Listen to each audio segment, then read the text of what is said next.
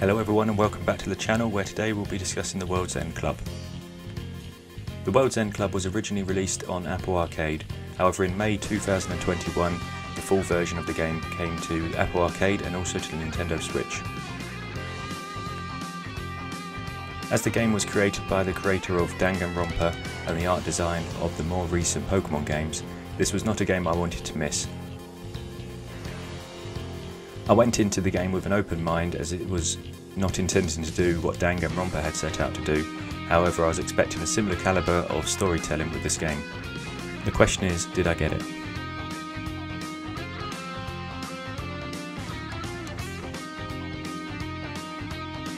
Story-wise is where this game excels, which is to be expected, but it quickly becomes apparent that this game is not a copy of Danganronpa.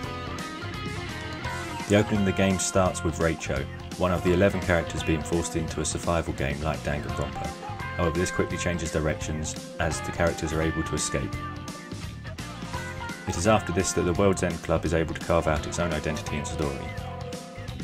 I feel that it does this very well, with all the characters feeling unique enough, and while some are annoying, they make for a good game.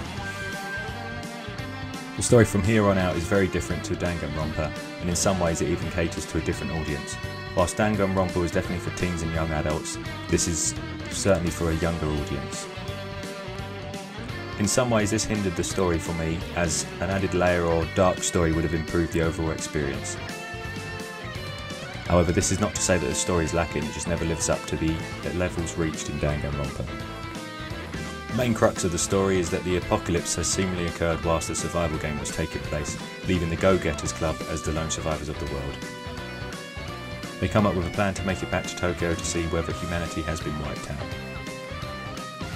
The characters are being followed by the mascot of the killing game who keeps turning up from time to time. From this point on, the game is broken into chapters that normally include three styles of gameplay. Cutscene or visual novel-esque scenes, which are all fully voice acted.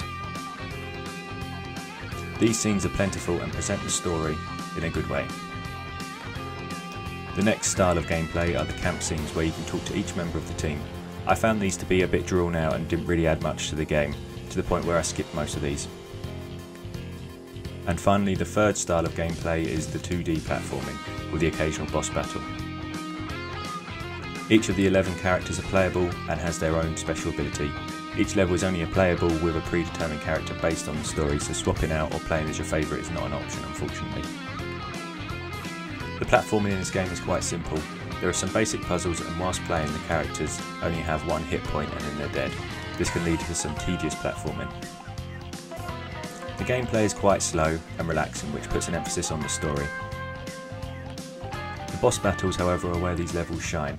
They are unique and play with the character's abilities very well. In some cases you will battle the boss with more than one character swapping in and out throughout the battle. The art style of the game is very similar to modern day Pokemon with the characters looking like they're lifted straight out of those games. This is to be expected as the artist worked on Pokemon Sun and Moon.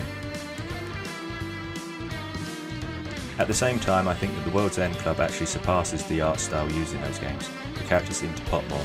Now this could be due to hardware differences, but I feel like this game improves over what they did on Pokemon Sun and Moon in terms of art direction. Overall I enjoyed the experience and as a game World's End Club was a good one, but unfortunately not a great one. Whilst I could discuss the story a lot more, I did not want to include any spoilers within this video.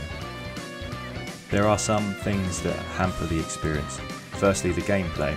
This was originally released on Apple Arcade, which emphasises mobile gaming. World's End Club fits this genre and as such, it does not live up to the other games available on Nintendo Switch. Now this gameplay would be fine for a visual novel such as Danganronpa, the Nonary games or 13 Sentinels, where the focus on story could mean that gameplay would not be scrutinised, as it is an extra to the story. However, those aforementioned series do have fun gameplay as well, but in the case of World's End Club, I feel like the story never really hits its stride. In some ways, the game feels like the first five series of Game of Thrones, where there is a lot of talking about how winter is coming, but nothing to suggest that it actually will.